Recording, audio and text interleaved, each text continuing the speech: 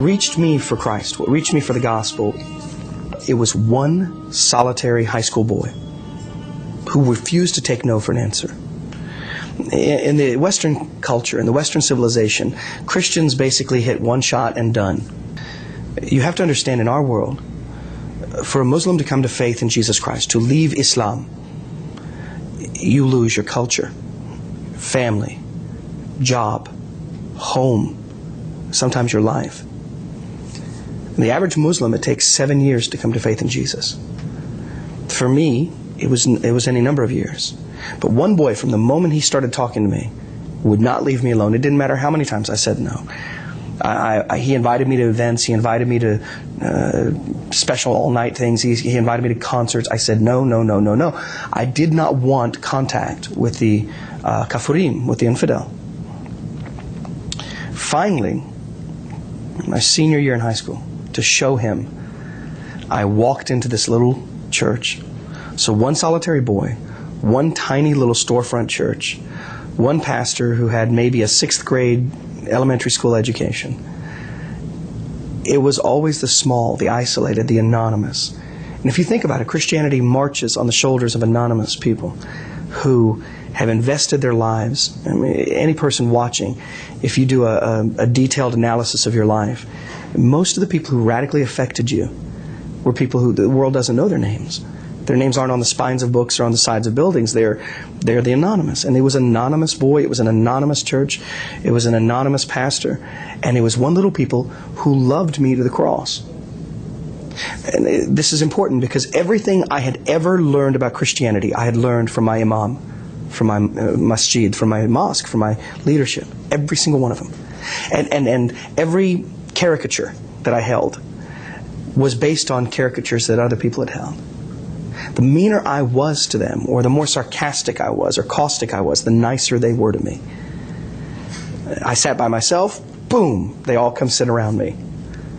Uh, I'm churlish, and they just smile. I was amazed at the ability of the Christian to love me in spite of me. And this is important because it's unconditional. And when I finally afterwards asked them, why are you so nice to him? Why were you so, well, they said, that's the way Jesus loved us. Romans 5 8, for God commanded his love toward us that while we were still sinners, while we were still at war with him, while we still hated him, Christ died for us, the godly for the ungodly. That is a, a radical concept for somebody like me. He takes me to the pastor. The young man does. And the pastor says, What do you think about Jesus? And I said, In Isa. His name is Isa in Islam. We respect Isa. As a matter of fact, we named the 19th uh, surah of the Quran after his mother, Surah Maryam. He said, You can't respect Jesus. It's something that I tell Muslims when they say, No, we hold him in high reverence and high respect. You cannot respect Jesus. Because Jesus declared himself to be God. Isa Messiah. Jesus said he was Messiah. And more than just Messiah to the Jew, but he came to die for the world. If Jesus said these things, he is not qualified to be a prophet in Islam. The people who claim to be God, and there's thousands of them throughout history that have claimed to be God, they are either diluted or, in the case of Jesus, he actually is who he says he is. But in either case, some man walking down the streets drinking alcohol who's talking to himself who thinks he's God does not deserve my respect. To summarize it, he said, you either revere him as God or reject him as a fraud, but you don't have the option of just respecting him. That door opened. He asked me this question. He said, Islam teaches that Jesus wasn't crucified. Yes, Surah 4, verse 157. Isa was not crucified, but somebody else in his place. He said, Why would Jesus be indicted of a crime worthy of crucifixion to begin with?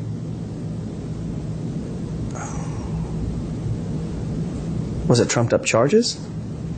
No. Was it blasphemy? Yes. What's blasphemy?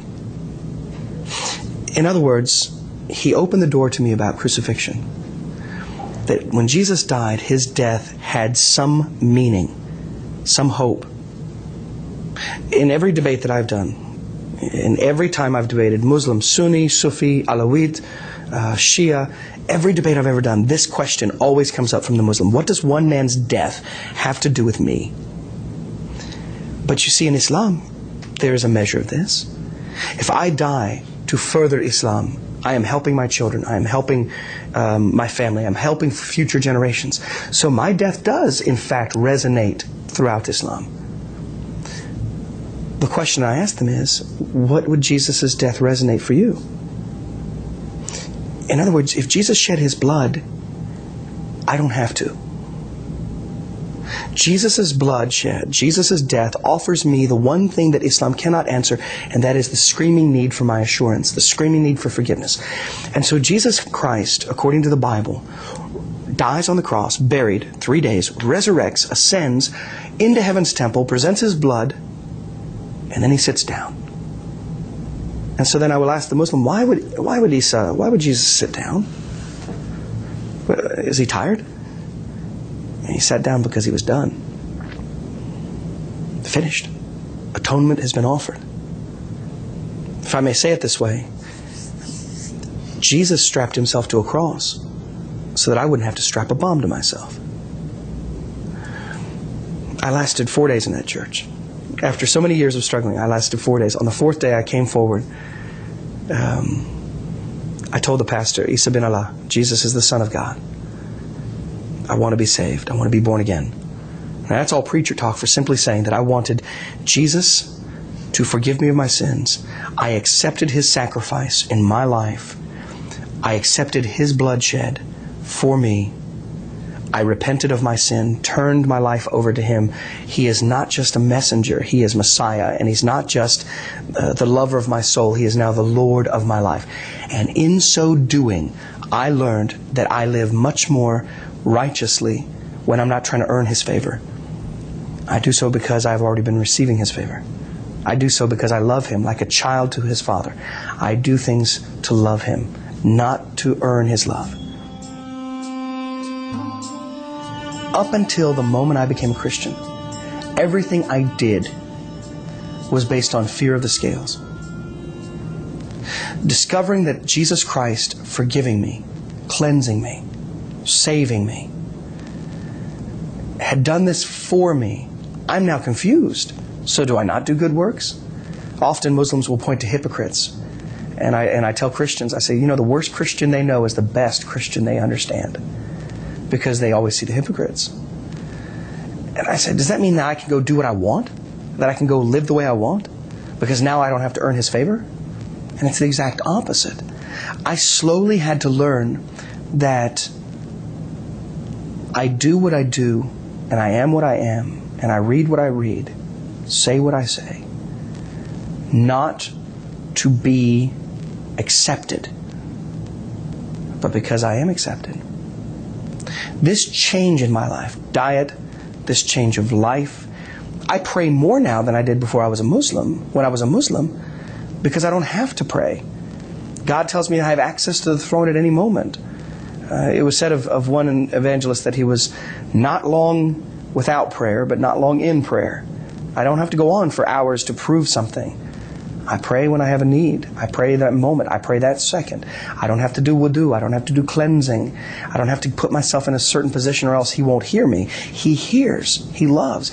And because God is so intimate, the call for me to live a right life is now the love that a child has for his father.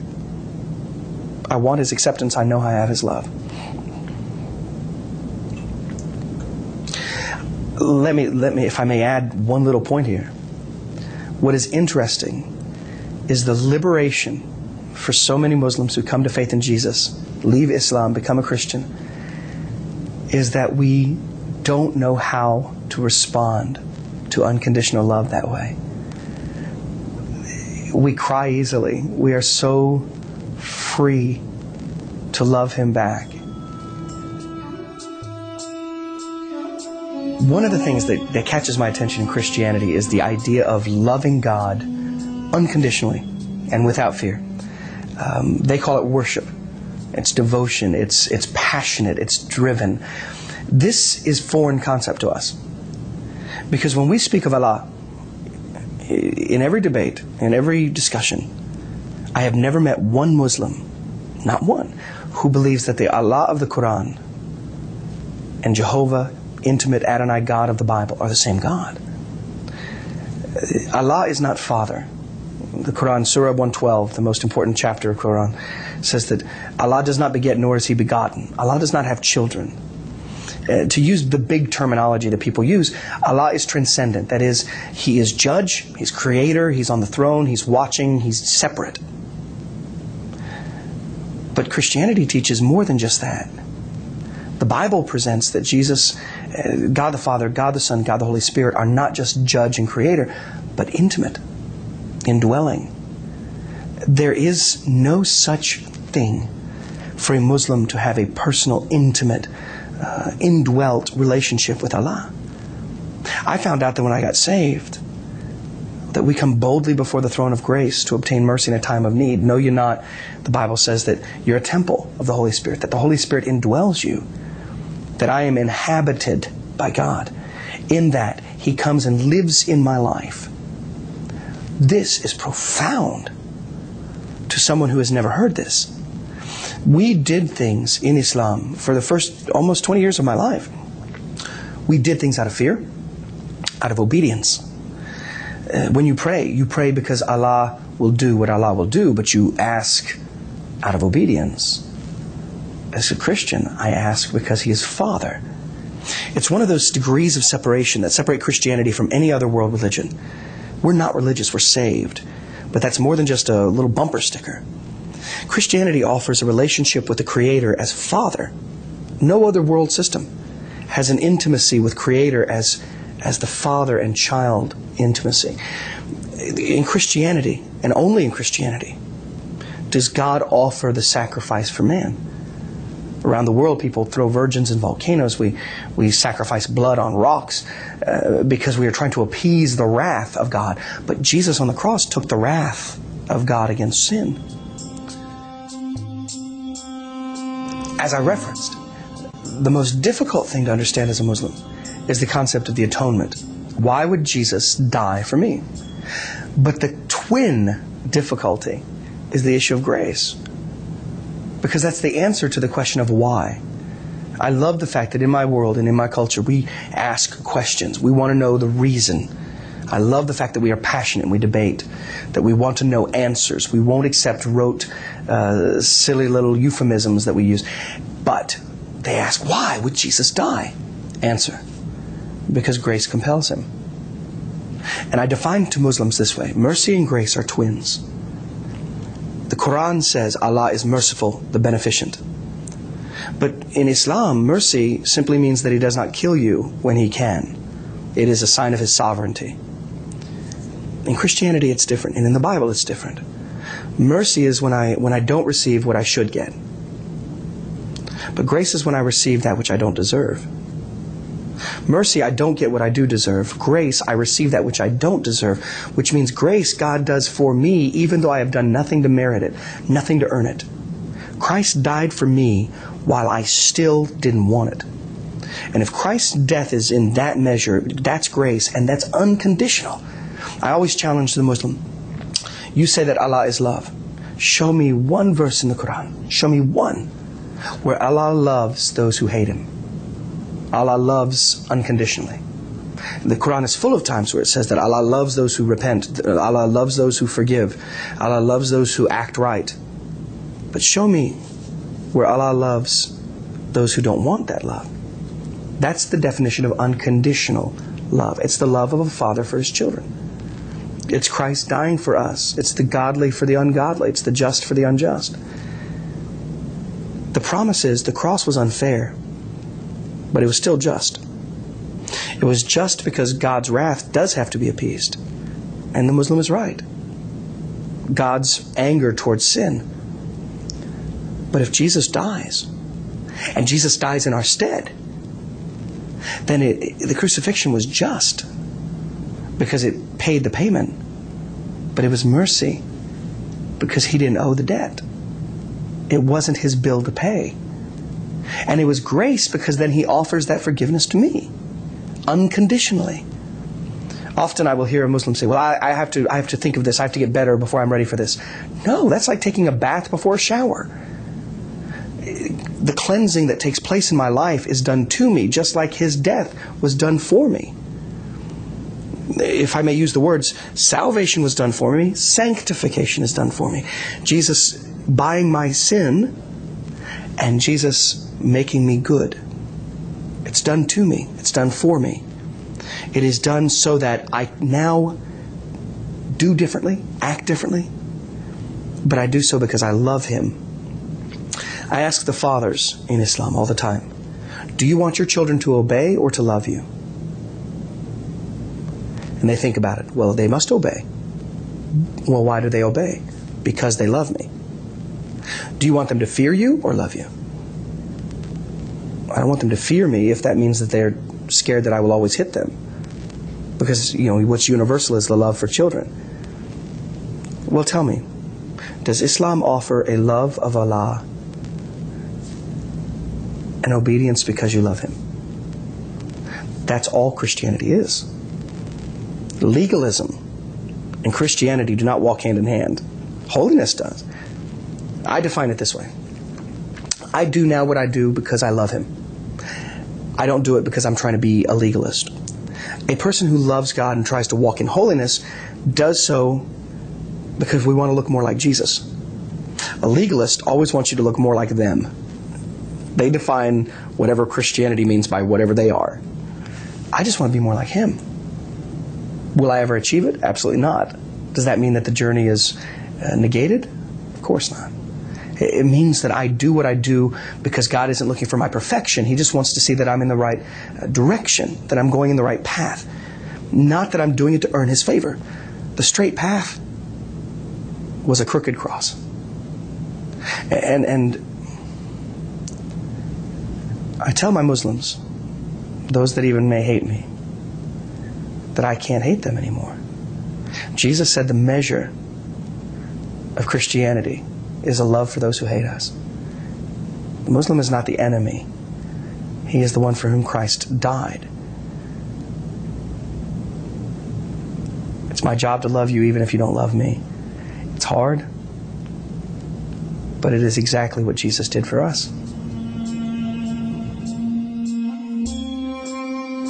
One of the major objections that Muslim apologists, that Muslim philosophers and scholars will present was the Trinity that cannot possibly fathom how God can be Father, Son, and Holy Spirit at the same moment. Who is Jesus talking to? Himself? Does that make him schizophrenic? And I always use very natural, simple illustrations. There's nothing that we can find that absolutely dictates truth on the Trinity. We know that the Bible teaches the Trinity, we know God is triune, but how do we, in our limited, finite minds, understand uh, the infinite? But I do use simple things that draw us to it. I will usually pause and say, Why does that cause you any trouble? Space is a trinity. And remember, in our world, space is something that's very important. And I will point to some point in the air and I will say, You see this point at the end of my fingernail? That is depth and height and width simultaneously. Why does that cause you a problem? I will point to my watch and I will say, Time is Trinity. This moment that we're talking is both past, present, and future simultaneously. Why does that cause you a problem? Because I cannot understand it in the physical sense. I just explained two physical things. Yes, but this is a trick. It's not a trick. It's three dimensions. Am I saying God's three dimensional? I'm saying that God is infinitely greater than our illustrations. But it isn't hard to fathom it if you understand that there's so many other analogies that seem to point us to the fact the Father, Son, and Holy Spirit, one substance, three persons, triune. Because if he's not, then the Bible's wrong. Because if the Bible's wrong, it references God the Father as God, God the Son as God, and God the Spirit as God. If that's wrong, the rest of it's made up too. They will ask, well, who, who then was Jesus talking to? I said, to the Father. But he said he did not come to do his will, but the Father's will. I said, while he was on the earth, yes. Well, he said he did not know when he would return in the Bible. That's right. He knows now. Well, then why on earth did he not know? Because when Jesus was on the earth, he didn't lay aside his God part, he laid aside his divine prerogatives. Jesus walked from Jerusalem to Jericho. Could he have blinked his eyes and flown? Of course. Could he have walked through walls? Of course. Could he have just transcended time and space? And, and of course. He chose, by his divine will, to walk. Why? His identity with humanity. And part of his identity with humanity as a perfect human, as well as perfect God, was that he chose to self limit his divine prerogatives. There were times where it leaked out, like the Mount of Transfiguration. But he chose, while on earth, to lay aside his divine will, and thus he becomes the work of the Father. Who is Jesus talking to? Well, even in the Quran, Surah 3 teaches that Jesus spoke from the cradle, that he said, I am a messenger of Allah. The Quran teaches the virgin birth, the pure birth. The Quran teaches that Jesus formed a clay bird. The Quran teaches that Jesus spoke as an infant, as a newborn. The Quran teaches that Jesus did many clear signs. Who did that for him? Well, they will say Allah. Why? Well, because he is a messenger. Why? Because Allah will do what he wants. There you go. If God is God, he's beyond anything you can ask. It brings us to the point of understanding that even in Islam, though they believe they are so rational, there are things that they don't have answers to. That doesn't mean they don't believe Him. I'm simply showing that the Trinity is, is rational, cogent, understandable, but it's infinite. The liberation that comes from salvation is the freedom of knowing that I fear God out of reverence, out of love, but I am free from judgment. There is therefore now no condemnation to those who are in Christ Jesus, that He loves me, warts and all. The fear of being perfect when you first get married, you're afraid your wife will see what you look like when you wake up. You fear that she's going to see that you don't always smile when you're supposed to. You're going to fear that she's going to see a glimpse of your anger. And then she sees those things. And you're amazed that she doesn't leave. God loves me, and He already knows those things. God loves us. He already knows all of our faults. God loves you, and He already knows your doubt, your fear, your angst, your terror. And yet He still loves you. The only thing that could compel that is the heart of God.